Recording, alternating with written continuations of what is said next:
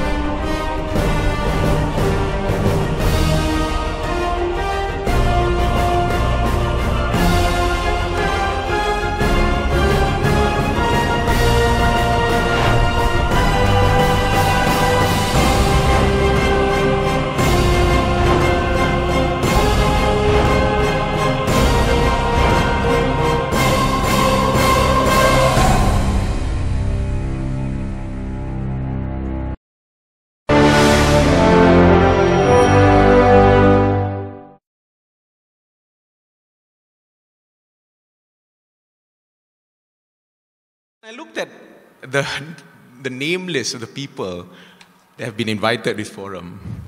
I'm thinking to myself, we've got parliamentarians, a former bar president, senior distinguished lawyers, two um, uh, uh, law, constitutional law lecturers, and then you got me. What can I possibly give to all of you that would not have already been said by the rest. But thankfully, thankfully, I'm number three, so at least I've still got things to say before the rest. Now, um, we're talking about section 124B of the Penal Code. First point to note 124B falls under chapter 6 of the Penal Code. Chapter 6 of the Penal Code includes offences such as waging war against the Yang di-Pertuan Agong. Do you remember Al-Ma'unah? They were charged and found guilty under that particular offence. Okay? And uh, for chapter 6, offences against the state, and also chapter 6a, terrorism offences, the authorities can actually use the special offences, SOSMA, I can't remember the name, uh, Security Offences and Special Measures Act, SOSMA. Now, you may have heard of SOSMA. Um, it was supposed to replace the ISA, okay? Remember when the Prime Minister made the announcement that ISA will go? The act that was supposed to replace the ISA was SOSMA. This was before POCA, before POTA. Okay, so SOSMA is supposed to be a watered down kind of ISA because instead of two years, 60 days detention and then two years detention, you only have 28 days detention. So going back, actually, if it is an offense under part, uh, chapter 6 and 6a, SOSMA can be used. They have not used it, thankfully, but if they decide they can actually use SOSMA. And what does that mean? That means all these people who are supposedly uh, carrying out activities detrimental to parliamentary democracy, they can arrest these people and detain them for 28 days without obtaining a remand order. That's for investigation purposes. Okay? But 28 days, after 28 days, they either have to uh, uh release these people or charge them in court. More worryingly, if these people are charged in court and they invoke SOSMA, SOSMA also provides special procedures which are different from normal procedures, different from the Criminal Procedure Code, different from uh, uh, uh evidentiary procedure. Number one, a person who's charged and if SOSMA is invoked, that person cannot get bail. Okay, so cannot get bail unless uh, um, he's sick or he's a woman, and, and there's a few other things. That's number one. Number two, there are also special rules which are different from normal evidentiary, evidentiary rules. For example, under SOSMA, you can have secret witnesses. Witnesses who you don't know who their identities are. The only people who know who these, uh, uh, these witnesses are is the prosecution and the court. Even the defense counsel would not know who that witness is. Other things, for example, they don't need to prove uh, or rather bring to court the actual exhibit. So, meaning, for example, if they say that, oh, A has written this in his notebook, they don't actually have to bring that notebook, they can bring a photocopy. Okay? Those kind of rules. What are the other things? It also says any items seized in a raid will be admissible in evidence. So these are the things which SOSMA allows. And people keep looking at the 28 days and saying that, you know, this is, this is bad, this is bad. No, ladies and gentlemen, the mischief of SOSMA is actually in the trial, in the evidentiary rules, in the procedures when people are this one. 28 days uh, uh, uh, detention yes, we would like that it would be under judicial scrutiny, so a remand uh, hearing it should take place and so on and so forth. But I think uh, uh, because of the fact that they have to either release these people or charge them, that's not the main issue with SOSMA. Of course, later on, uh, uh, uh after SOSMA, you have POCA and POTA, which throws all the so-called promises of abolishing ISA and so on and so forth out of the window. But that's for you to, to, to understand. Now, when SOSMA was passed by Parliament, okay, as I mentioned, it was to repeal the ISA. And it was packaged together with three other amendments to existing laws. Number one, the Penal Code. Number two, the Evidence Act. And number three, the Criminal Procedure Code. So all these were packaged as anti-terror legislation. They say that we need to, we, we won't have ISA, so we still need to deal with terrorists. So here, anti-terrorism laws. And of course, it was passed by parliament by sheer brute force of the numbers that they have. Now, what is 124B? 124B provides that whoever, by any means, directly or indirectly, commits an activity detrimental to parliamentary democracy shall be punished with imprisonment for a term which may extend to 20 years. So maximum 20 years. So it's a serious offense. It's a serious offense. And what is known as activity parliamentary, what does it mean? Well, you look at section 13A of the Penal Code, which says that activity detrimental to parliamentary democracy means an activity carried out by a person or a group of persons designed to overthrow or undermine parliamentary democracy by violent or constitutional means. And that's it. So, what does it mean? Undermine parliamentary democracy.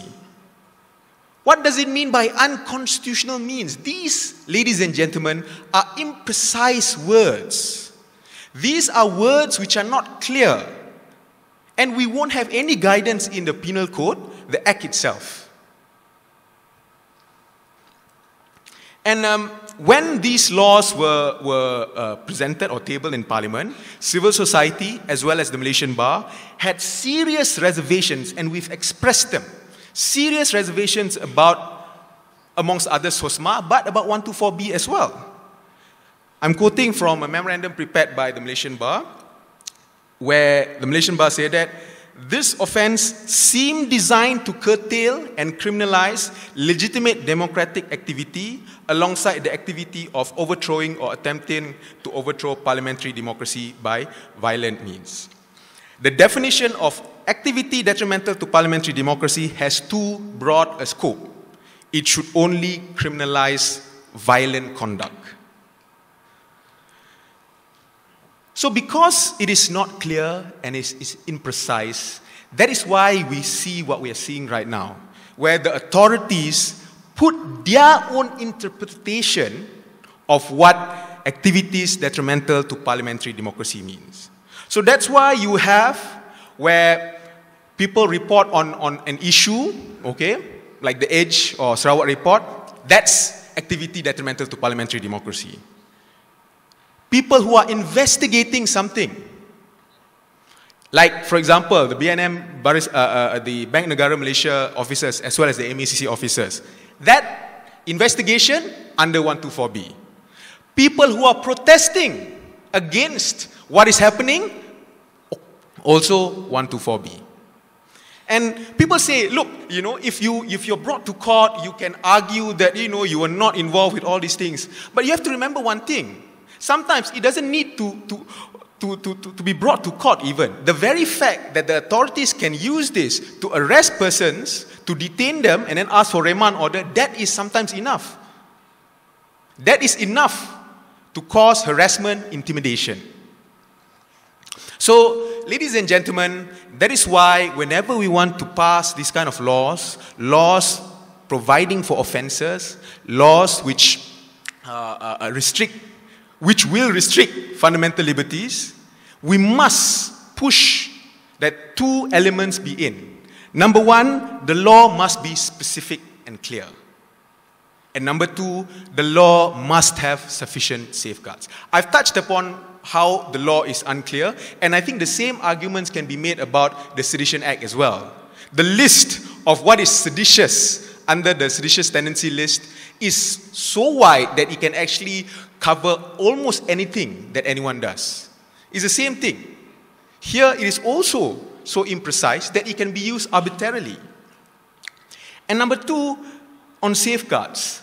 Now, I've been looking at the Hansards, the discussions uh, in Parliament at that particular point in time, and the one thing which uh, uh, the government keeps harping is this trust us, we will not abuse the law. Again, we saw it during POTA. We saw it during POTA as well. The whole idea is trust us. We will only use this against terrorists. But, ladies and gentlemen, Number one, we have a trust deficit. The government has a trust deficit. Okay? It's not enough that we say, they just say, trust us. We have seen the ISA. The ISA was supposed to combat militant communists. But we saw what was used, what, what it was used for. People like parliamentarians, bloggers, reporters arrested under the ISA. So, just this guarantee by the government is not enough. And that's why we keep saying you need to have sufficient safeguards. For POTA, we keep pushing. Why is it that there's no judicial scrutiny? Why is it that you're completely circumventing the courts? No answer except percayalah. We can't have this, ladies and gentlemen. We cannot have this. So, um, lastly, ladies and gentlemen, I think we really need to push for the next uh, uh, uh, great uh, battle, or rather the great, the great cause that we should embark upon, is parliamentary reform. Because it's only through parliamentary reform that these kind of laws will not see the light of day. You know, a lot of talk has been made about how uh, uh, MPs debated POTA into the night, and you know, there was like a long debate on it. And with all due respect, I know, for example, YB Gobind and YB Hanipa was there, were there, they were there, and they were arguing the cause, which is good. But, ladies and gentlemen, in other countries, important laws like this do not get passed in a matter of days. They would have committees set up to go through the law. This is not a law to regulate uh, uh, uh, uh the uh, uh, collection of swallows' nest or something like that. You know, this is an, a law that will, that will affect everyone. And yet, we pass it in a matter of days. First tabling, few days after that, passed.